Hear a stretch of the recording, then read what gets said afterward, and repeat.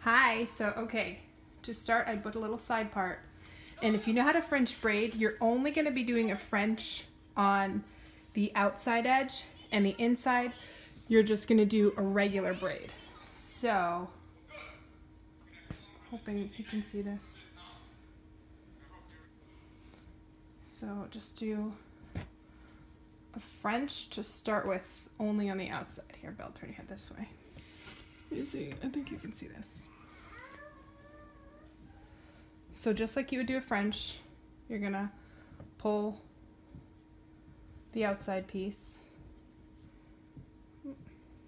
in, but then don't grab this part for the French. Just do regular braid there. Then for the next, pull the outside piece, put it in, then don't do the inside. Uh,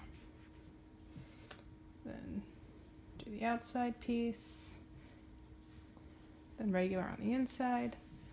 Turn your head, baby. Outside piece, grab the hair. Here, can you like go like that, kiddo? Put it in, and I can't do it from this angle. But, so let's just pretend that I'm still doing it because I can't really do it this way. So you just keep pulling the outside piece. Keep going this way, honey.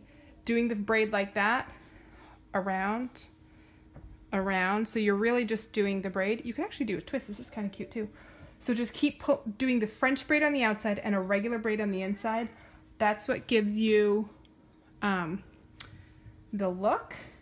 Let me see. I'm hoping we might have to redo this video if it doesn't work. So you just keep going around the whole head. Then when you get to the top, you incorporate the front of the hair, same thing. Then you just do a, a long braid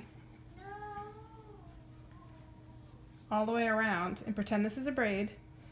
Around, around, around, around. Tie it, and then I just bobby pinned the pieces under, and that's what you have.